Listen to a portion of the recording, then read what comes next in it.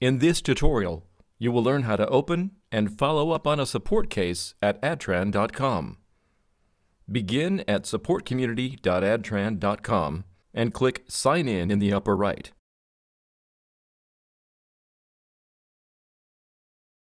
After entering your adtran.com credentials, you'll be returned to this landing page.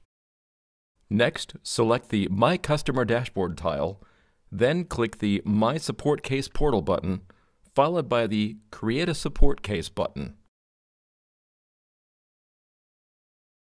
If you have an emergency outage, it is recommended to call our support center directly. Our customer care representatives usually answer in a matter of seconds and will walk you through opening a ticket for your issue. Be prepared with specific product information that you're calling about, including the serial number and details of the outage or failure. This process will set you up for a ticket callback from a product support engineer. For non emergency support cases, click this green Create View Support Cases button and complete the fields that appear. Select the product family and product series. These fields are required. The serial number and service plan number fields are optional, but do help to expedite processing your service request and route your request to the proper support team. While it is possible to open a new support case without entering a serial number, ultimately you will need to provide this. Note that there are no serial numbers for Adtran cloud software such as Device Manager, Home Analytics, or MCP. For opening cases related to these products, the serial number field should be left blank. Continue on to explain your issue by selecting a case type. Select Technical Question to indicate a slightly lower priority case type. Selecting Trouble Resolution indicates you have a more pressing issue with an Adtran product.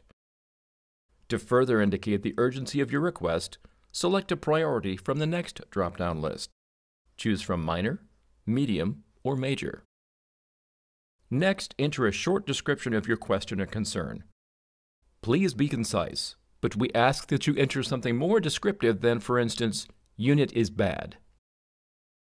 In the next field, describe your issue in detail and try to include things like how often the problem is happening, what behavior is observed, how the unit is affected, what are the steps to reproduce this issue. Also include any logs or supporting information from the device. We'll show you how to attach these in a moment. Click the Next button at the bottom of the screen. On this screen, confirm that your contact information is correct. Feel free to enter multiple phone numbers if that's your preferred contact method. When we follow up with you for this ticket, if we receive a voicemail box or are otherwise unable to reach you on the first number, we will immediately move on to the second number in an attempt to reach you in a timely fashion.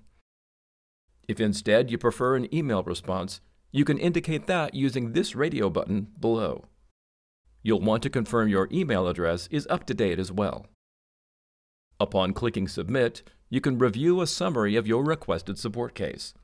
This information will also be sent to you via email. Should you need to edit, add, or correct something in this case, use the Update this case link in the lower left. Updates may include uploading an attachment to the case you just opened. If you have multiple open cases, you'll see multiple entries in this list. Be sure to select the proper case for which your attachment applies. From this Upload a File section, click Browse to select the file to be uploaded from your local drive. Once the file name has been indicated, click the Upload button immediately to the right. Helpful attachments may include configuration files, network diagrams, debugs, packet captures, or other log files. While you're here, there are other types of support case updates you may wish to take advantage of. From this Update Support Case link, you can revise contact phone numbers or provide an additional note that will be attached to the case history.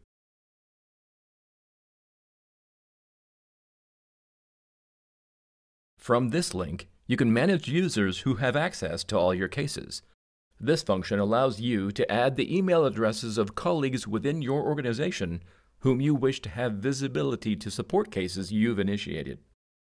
Simply enter the email address and click the Add button.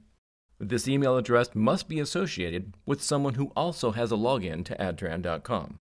These permissions you ascribe can be easily edited at will from this same screen. To give this permission for viewing only this particular case, you may add the email address of your colleague here.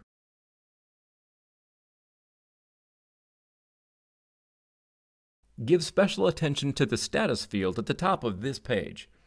Until the case is resolved, it may shift from AdTran in process to waiting on customer. Waiting on customer indicates additional action or information is required from you in order for progress on the case to continue. Review the latest case notes for details. To facilitate ongoing communication regarding this case, use this Send Email link. While it is possible to edit the subject line, do not remove or alter the ticket number that is pre-populated there. Doing so will cause your message to not be received and an auto reply with an error message will be sent to you. In this tutorial, you'll learn how to initiate, edit, and maintain a support case at adtran.com. For more helpful details on opening a support case and other related topics, please check out the Help and Feedback section here at supportcommunity.adtran.com. Thank you for watching.